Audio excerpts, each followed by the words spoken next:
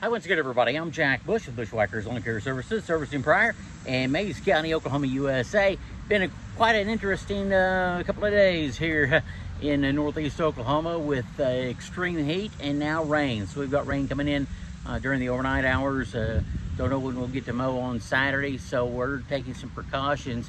Uh, I'm mowing one of our church properties today or the late this afternoon. I'll try to mow the other one uh, later on, right after this one.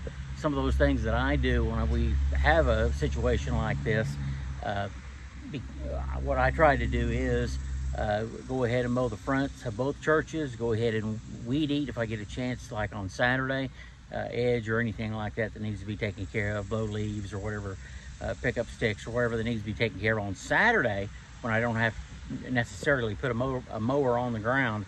I can just go ahead and walk it, do my weed eating and edging and, and stuff like that. Take care of all that uh, for uh, Sunday services uh, on, you know, of course, on Sunday, of course. So that'll be taken care of. But we're going to go ahead and mow both these fronts uh, uh, tonight, uh, or today and this evening. That storm front is on its way in, so we're going to try to get this taken care of and get this property looking great for services on Sunday. So as you kind of look around behind me, there.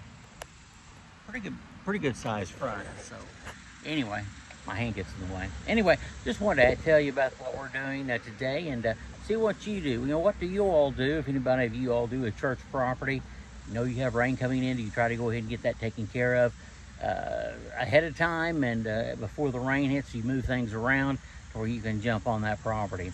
Anyway, if you would, be sure to like and subscribe and let me know what you think. Uh, be sure to, uh, check out all of our uh, social media under Bushwhackers Lawn Care, Pryor, Oklahoma, and be sure to check that out if you would. Be sure to like and subscribe. Talk to you later. Talk to you next time, by the way. And goodbye, everybody.